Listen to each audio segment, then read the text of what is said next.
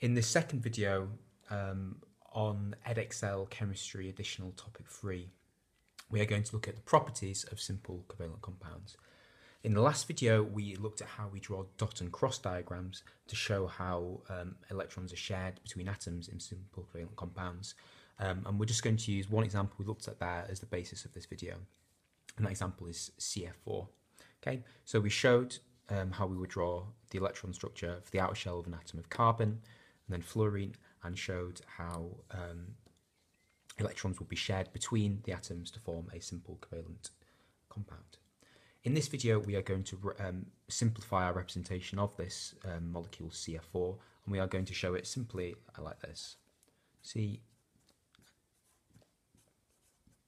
with four F's around that. Okay, so it's a um, simplified representation of this um, dot and cross diagram, where each of these single um, lines here represents a pair of electrons shared between the atoms. Okay, so we're going to use this to explain some of the properties of simple um, covalent compounds or simple covalent molecules.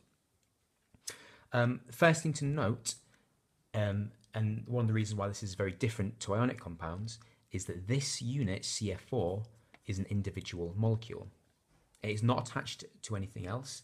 You've got carbon and four fluorines that are attached together, but they are free to move really wherever they want. So if I had a room that was filled with CF4 molecules, okay, obviously this is a very zoomed in version, but I would have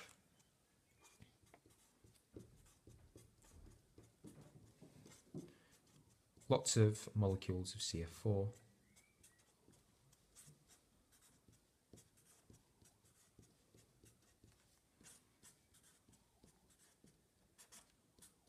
all over the place in this room.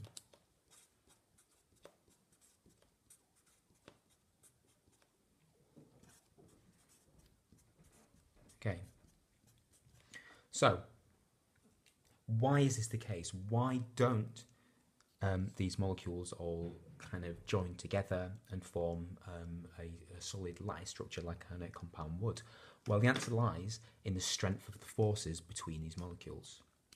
Okay, these covalent bonds between the atoms within a molecule are actually very strong. It's very difficult to break um, break the or overcome these forces. It requires a lot of energy. However, the forces between the molecules, okay, so you've got all sorts of forces between these, okay, but these forces are extremely weak. Okay, so even though you've got very strong bonds within molecules, between the molecules, there are only very weak forces. Okay, so each one of these dashed lines represents weak. Okay, the proper terminology for forces between molecules is intermolecular forces. Okay, so we've got very weak intermolecular forces between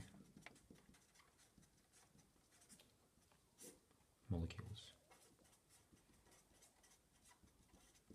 Because these forces are weak, it does not take much energy to overcome them and to either melt or to um, boil a sample of CF4, all we need to do is overcome these weak forces.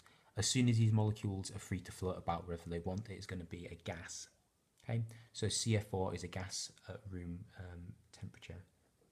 You would have to get it extremely cold to turn it into a solid. CF4 and most simple covalent compounds have got very low melting points and boiling points. In addition, simple covalent compounds do not conduct electricity.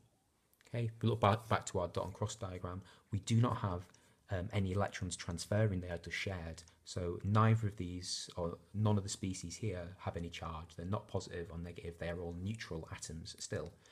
Therefore, we do not have any charges. Okay, no charges can flow, so they do not conduct electricity. Okay, so just to summarize, simple covalent compounds have low melting and boiling points. Okay, low melting points and boiling points because the forces between the molecules are very weak and therefore easily overcome. They do not conduct electricity.